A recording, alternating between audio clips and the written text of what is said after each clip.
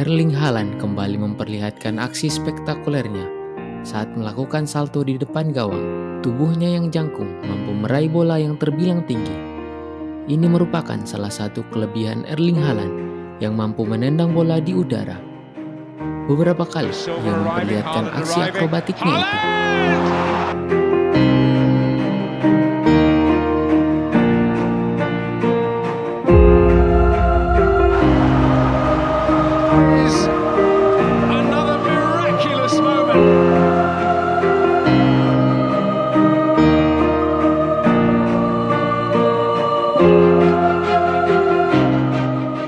Erling Haaland kembali memperkuat Manchester City setelah dikabarkan cedera kaki. Striker andalan Manchester City itu akan kembali merumput. Ini akan menjadi kabar buruk bagi sejumlah tim papan atas Liga Inggris seperti Liverpool dan Arsenal, sebab Manchester City kembali diperkuat mesin pencetak golnya, yaitu Erling Haaland.